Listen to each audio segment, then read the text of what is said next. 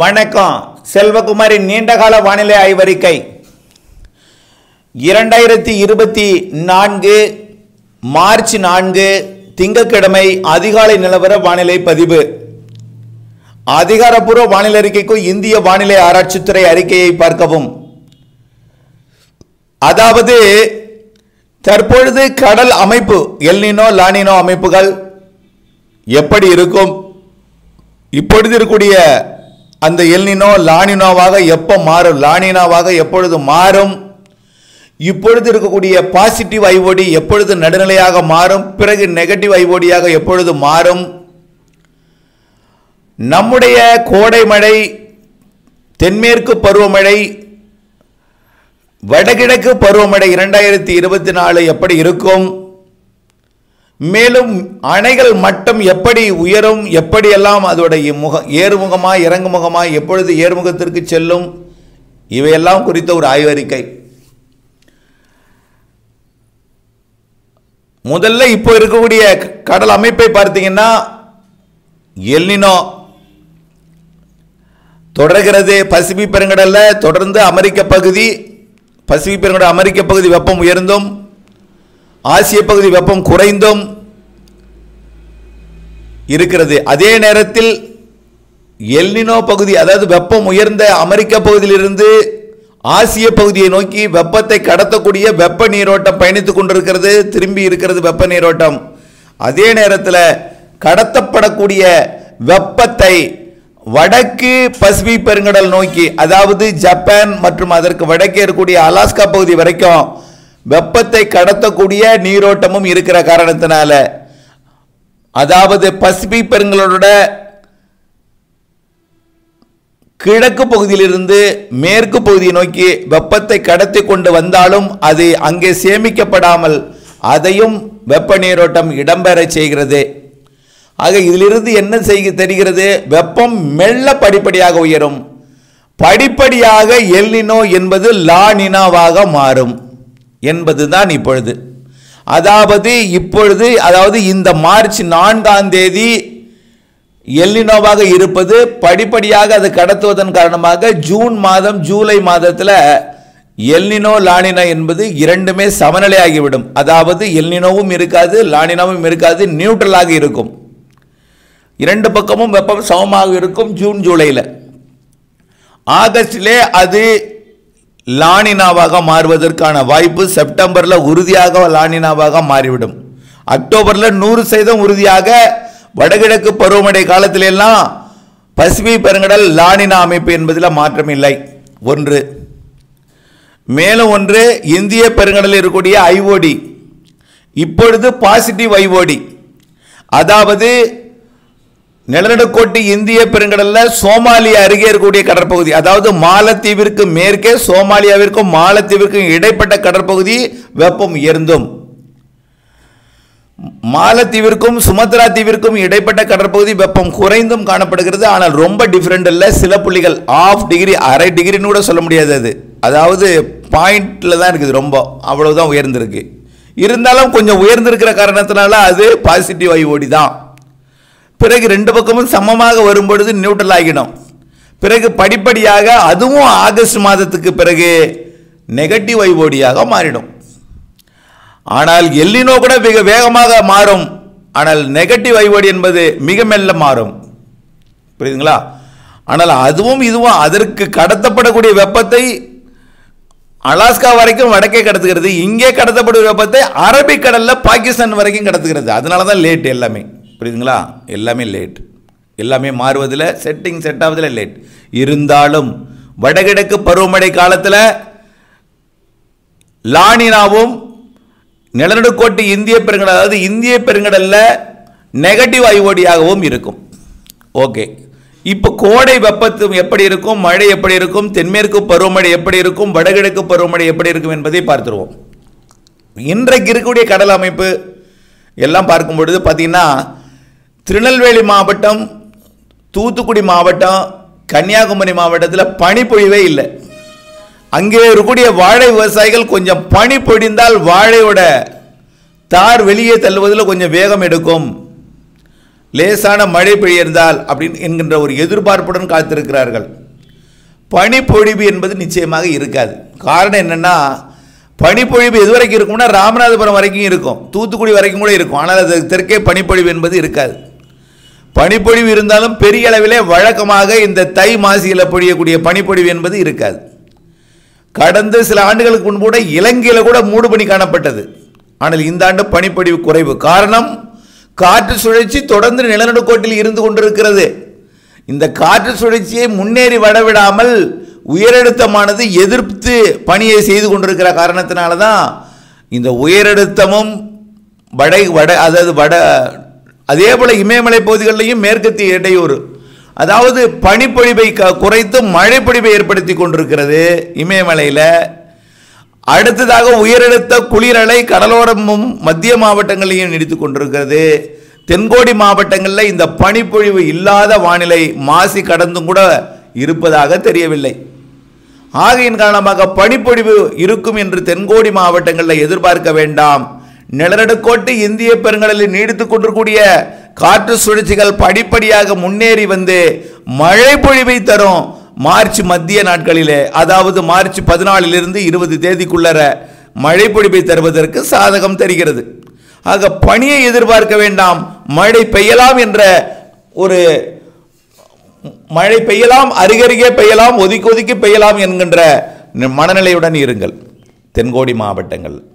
ஆக பனி பதினான்காம் தேதியிலிருந்து மழை பொழிவு காத்திருக்கிறது. தென்கோடி மாவட்டங்களுக்கும் தென் மாவட்ட மேற்கு தொடர்ச்சி மலைக்கும் கிட்டத்தட்ட உறுதியாக தெரிகிறது. டெல்டா மாவட்டங்கள் மத்திய மாவட்டங்கள் கேரள எல்லையோர மாவட்டங்களுக்கும் வாய்ப்பு இருக்கிறது. பொறுத்திருந்து பார்க்க வேண்டும். முன்னேற்றம் எப்படி இருக்கிறது? உயரழுத்தத்தோட இடம்பெயர்தல் எப்படி இருக்கிறது? அதுக்கு சாதக சூழல் காற்றின் அமைப்பு எப்படி இருக்கிறது என்பதை வரக்கூடிய நாட்களில் அறிவிக்கலாம். ஆனால் கண்டிப்பாக அது ஏறி வந்து தமிழ்நாட்டில் கூடுதல் பரப்பில் மழை பொழிவை கொடுப்பதற்கு சாதகம் இருக்கு. அப்படியே கொடுத்தாலும் ஒதுக்கி ஒதுக்கித்தான் கொடுக்கும்.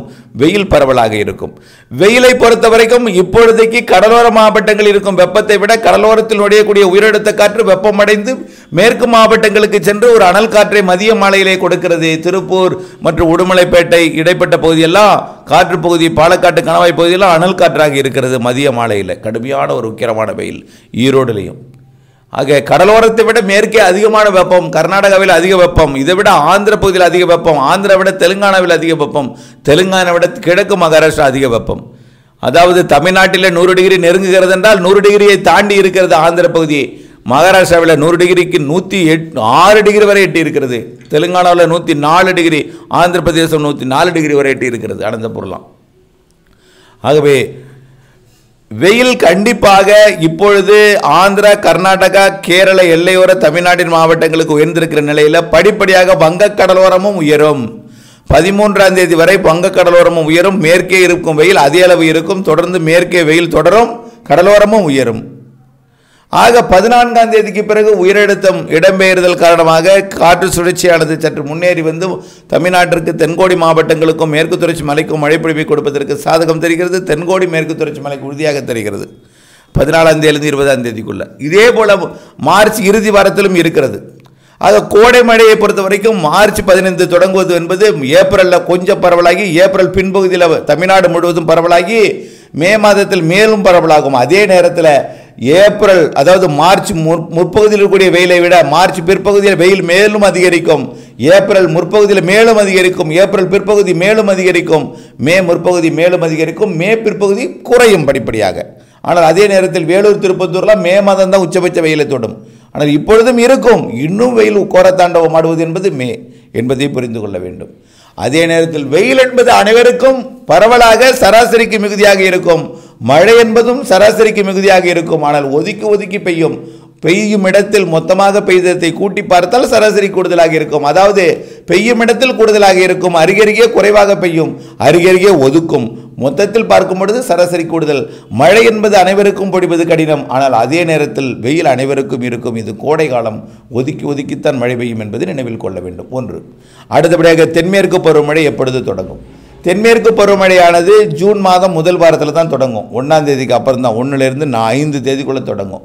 ஆனால் தென்மேற்கு பருவமழை அந்த நேரத்தில் பார்த்தீங்கன்னா அணையோட மட்டத்தை பாருங்கள் இப்போ மேட்டூரோட நீர்மட்டம் வந்து இருபத்தி ஏழு டிஎம்சி இருக்குது தினசரி ஆயிரம் கனடி குடிநீருக்கு திறக்கப்படுகிறது. பதினோராயிரத்து ஐநூறு கனடி இருபத்தி நாலு மணி நேரம் திறந்தால் ஒரு டிஎம்சி குறையும். இப்போ வந்து ஆயிரம் கனடி என்பதனால பதினோரு நாளில் பதினோரு டி பதினோரு பதினோரு கனடி பதினோராயிரம் கனடி வெளியேறும் என்பதனால பதினோரு நாட்களுக்கு பத்து நாட்களுக்கு ஒரு டிஎம்சி குறைகிறது என்பது எடுத்துக்கொள்ளுங்கள் ஆக மாதம் மூன்று டிஎம்சி இறங்குமுகத்துக்கு செல்கிறது. ஆக மாதம் மூன்று மார்ச்சில் இப்போ இருபத்தி ஏழு டிஎம்சி இருப்பு இருப்பது மார்ச் இறுதியில் இருபத்தி நான்கு டிஎம்சியாக குறைந்துவிடும். ஏப்ரல் எப்படி இருக்கும்? மேலும் ஒரு மூணு டிஎம்சி குறையும். இருபத்தி ஒரு டிஎம்சி ஆகிவிடும் ஏப்ரல் இறுதியில். மே இறுதியில் அது பதினெட்டு டிஎம்சியாக குறைந்துவிடும் என்று எதிர்பார்க்கப்படுகிறது. ஆக மழையே பெய்தாலும் பெரிய அளவிலேயே இருபது டிஎம்சிக்கு மேல் ஏறுவது என்பது இந்த கோடையில் சாத்தியக்கூறு இல்லை. ஆகையினால் மேட்டூர் மட்டம் இருபது டிஎம்சியாக ஏழு டிஎம்சி இறங்கி ஜூன் மாதம் ஒன்றாம் தேதி இருபது டிஎம்சிக்கு கீழ் போய்விடும் என்று எதிர்பார்க்கப்படுகிறது. ஆகையினால இருபது டிஎம்சி என்பது பதினோராயிரத்தி ஐநூறு கனடி திறந்துவிடப்பட்டால் இருபது நாட்களுக்கு மட்டுமே தண்ணீர் இருக்கும். ஆகையினால ஜூன் பன்னிரெண்டாம் தேதி திறப்பது என்பது சற்று கடினம்தான். இருந்தாலும் லானினா அமைப்பாக மாறப்போகிறது காவிரி பிரச்சனை தீரப்போகிறது என்று நாம் மக்கள் எதிர்பார்த்து கொண்டிருக்கிறார்கள். இது உண்மைதான். காவிரி பிரச்சனை தீரும் எப்பொழுது தீரும்? ஆகஸ்டில் தான் தீரும். ஜூனில் தீருமா? தீராது. ஜூலையில் தீருமா? தீராது. காரணம் மெல்ல படிப்படியாக செப்டம்பரில் தான் அது லானினாவாகவே மாறும். ஆகஸ்டில் தான் லானினாவாக மாறும். ஆகையினால உடனடியாக காவிரி பிரச்சனை தீர்ந்துவிடும் என்றால் தீராது. ஏன்னா காவிரி பிரச்சனை என்பது கர்நாடகாவிலிருந்து நமக்கு தண்ணீர் கிடைத்தால் அது தீர்ந்துவிடும். கர்நாடகாவிற்கும் மழை பெய்யணுமே. கர்நாடக அணைகளை நிரப்ப வேண்டுமே. கர்நாடக அணைகளுக்கு தண்ணீர் கொடுக்க வேண்டுமே. இயற்கை கடுக்கு கை கொடுக்க வேண்டுமே. அந்த கை கொடுப்பது என்பது லானினாவாக முழுமையாக மாறிய பிறகுதான். அது நிச்சயமாக ஆகஸ்டில் தான் கை கொடுக்கும் என்று தெரிகிறது. ஆக இந்த ஆண்டு குறுவைக்கு தண்ணீர் திறப்பது என்பது சற்று சவாலான காரியம்தான். ஆனால் அது ஜூன் ஜூலையில் திறப்பதுக்கு ஆகஸ்டில் தான் அது ஏறுமுகத்திற்கு செல்லும் என்று எதிர்பார்க்கப்படுகிறது. செப்டம்பர் ஓரளவிற்கு திருப்தியான மழை ஆ- ஆகஸ்ட் செப்டம்பரில் திருப்தியான மழை பிடிப்பு கொடுக்கும். ஜூன் ஜூலையில் கர்நாடகனையை நிரப்புவதற்கு தேவையான தண்ணீரை கொடுக்கும் கொஞ்சம் கொஞ்சமாக ஏற்றும் சமமாக ஒரு சீரான மழைப்பொழிவு ஜூன் ஜூலையில் இருக்காது. இருந்தாலும் மழைப்பொழிவு கொடுக்கும் குறிப்பிட்ட இடங்களில் அதிகமாக கொடுக்கும் குறிப்பிட்ட இடங்களை ஒதுக்கும் அது எந்த இடத்தில் பொழியும் என்பதை சொல்ல முடியாது. ஆனால் ஆகஸ்ட் செப்டம்பரில் பரவலான மேற்கு தொடர்ச்சி மலைப்பகுதிகளில் பரவலாக கர்நாடக கேரள பகுதிகளில் மழைப்பொழிவை கொடுக்கும். காரணம் என்னன்னா அப்பொழுதுதான் எல்லினோவும் மறந்து மறைந்து லானினோவும் வரப்போகிறது. அப்பதான் பசிபிக் பெருங்கடலிலிருந்து தென்சின கடல் பகுதி வழியாக தாய்லாந்து வளைகுடா வழியாக நிகழ்வு வர இருக்கிறது. வலுவான நிகழ்வு வந்து தென்மேற்கு பருவமழையை தீவிரப்படுத்தி இருக்கிறது. நெகட்டிவ் ஐஓடியும் உருவாக போகிறது. நியூட்ரல் ஆக போகிறது. நியூட்ரலும் நெகட்டிவ் ஐஓடியும் மழைப்பொழிவிற்கு சாதகம் ஏற்படும் என்பதனால ஜூலைக்கு பிறகுதான் மழைப்பொழிவு கை கொடுக்கும் என்று எதிர்பார்க்கப்படுகிறது. வடகிழக்கு பருவமழையை பொறுத்த வரைக்கும் லானினா அமைப்பு கண்டிப்பாக வடகிழக்கு பருவமழையில் இருக்கும். அதே நேரத்தில் நெகட்டிவ் ஐஓடியும் வந்துவிடும் என்பதனால கண்டிப்பாக பற்றாக்குறை மழை என்பது வடகிழக்கு பருவமழையில் இருக்காது. இந்த ஆண்டு ஒரு எட்டு பத்து மாவட்டங்களுக்கு அதிகப்படியான மழைப்பொழிவை கொடுத்து பாதிப்பை ஏற்படுத்தியது. மீதம் இருக்கிறோடைய எட்டு பத்து மாவட்டங்களுக்கு சராசரி மழைப்பொழிவை கொடுத்தது. அதுவும் பெய்ய வேண்டிய நேரத்தில் பெய்யாமல் அறுவடை நேரத்தில் பாதிப்பை கொடுத்தது. சில மாவட்டங்களில் இரண்டுமே பொய்த்து விட்டது. ஆகையினால் அப்படிப்பட்ட அமைப்பாக இருக்காது வடகிழக்கு பருவமழை. வடகிழக்கு பருவமழை கண்டிப்பாக பல மாவட்டங்களுக்கு கூடுதல் மழையும் பல மாவட்டங்களுக்கு சராசரிக்கு சற்று கூடுதல் மழையும் வறட்சி என்பது விலகும் வடகிழக்கு பருவமழையில் என்பதை நினைவில் கொள்ள வேண்டும். ஆக வடகிழக்கு பருவமழை நிறைய மழை இருக்கிறது. தென்மேற்கு பருவமழை பின்மழையாக இருக்கிறது. தொடக்கம் மே- அணைகளில் நீர் இருப்பு என்பது கொஞ்சம் குறைவாகத்தான் இருக்கும். தாமதமாகத்தான் அணையிலிருந்து தண்ணீர் திறந்து விட வேண்டிய நிலை ஏற்படும் என்பதையும் இந்த நேரத்தில் தெரியப்படுத்த கடமைப்பட்டிருக்கிறேன். இணைந்திருங்கள் அப்டேட்ஸுடன். நன்றி.